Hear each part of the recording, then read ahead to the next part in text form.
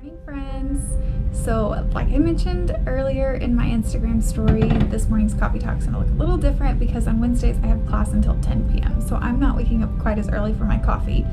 So we'll just call this a water talk. How about that?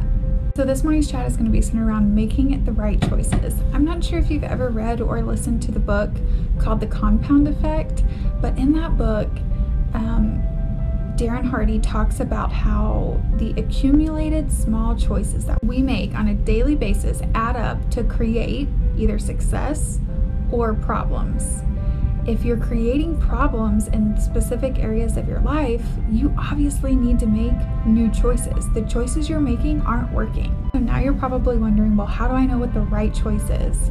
Nine times out of 10, I'm gonna go ahead and say 10 times out of 10 the right choice is going to be the hard choice. It's going to be the choice that is going to give you some pushback and going to be challenging. It's going to be the choice that you wouldn't have originally made for yourself. Obviously, that's why you have problems instead of success. Take the path of least resistance.